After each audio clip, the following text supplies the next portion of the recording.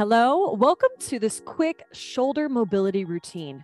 Today's quick stretch is going to help to improve your posture by increasing the mobility and flexibility of the shoulder joints. I'm Jessi McMaster, holistic fitness trainer and certified body worker, here to share tools that empower you to take your health into your own hands so you can feel strong and confident in your body as you move through life. For today's movement practice, we are going to do this standing because most of the time we are getting tension in our shoulders, our upper back, and our neck because we're seated for a long time, maybe driving or sitting at a computer. So I want you to take a break from seated and come up to standing. Now, if you prefer to do this seated or you need to stay seated for whatever reason, you could absolutely do the sequence in your chair. Take a moment to prepare your space. We are going to be stretching our arms out, so make sure you're not going to bump into anything. If you're standing, open up your stance to about shoulder distance with those feet. And we're going to start with shoulder circles. Take your hands to your shoulders, elbows together in the front. Let's draw a big circle. Circle up,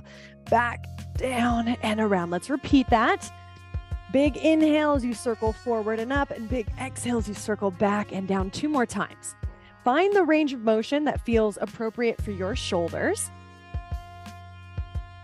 And then we're going to reverse. Let's go the other way. So pull the elbows back and up, and then forward and down. Do that again. Biggest circle that you can make with your elbows, connecting your movement with your breath, creating space in that shoulder joint. Finish that last circle. Take the arms out to the sides. Flip your right thumb down. Keep the shoulders down. So it's okay to lower the arms if you need to. Roll the head to the left. Big inhale through your nose. Big open mouth exhale. And we'll switch sides. Right thumb up, left thumb down. Roll your head to the right. Big inhale through your nose, the best that you can. Big exhale. Let's do that again switching sides. Remember, your neck is connected to your shoulders, so creating space between the jawline and your collarbone, and switch again. Take a breath. All right, bring it back to center. Now we're going to start to draw a figure eight with our arms. And if you're standing with me, put a little bend in your knees. Notice how I'm getting my whole body into the movement. Leading with your thumbs, big breath really swinging the arms. You can open up your stance a little bit, just loosening up, creating space through the shoulder joint.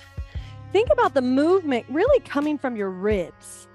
Your ribs and core is controlling the movement, allowing it to really flow. Now we're going to reverse, go the other way. And this time you're leading with your pinky fingers. Big inhale, big exhale. You can make them as big or small as you need to. What's most important is that you're listening to your body, finding your range of motion. One more big figure eight, and then bring it back to center.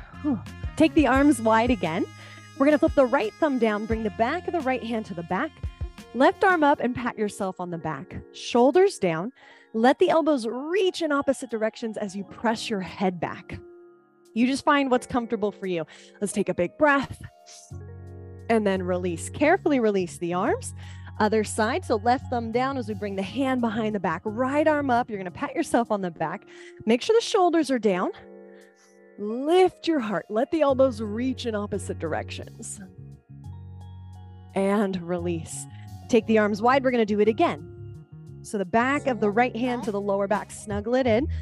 Pat yourself on the back with the left hand. Now, if your fingers touch, you can clasp the fingers behind you, but that's really not the goal here. I want you to keep your shoulders down and press your head back. So the elbows are reaching. Relax your face, relax your jaw, and we're going to switch again. Be careful through that transition. If you need to go a little slower, that's okay. Last one here. Take a breath. And then release the arms. One more stretch for this little routine. So arms are wide, and then we're going to cross right elbow on top of left elbow.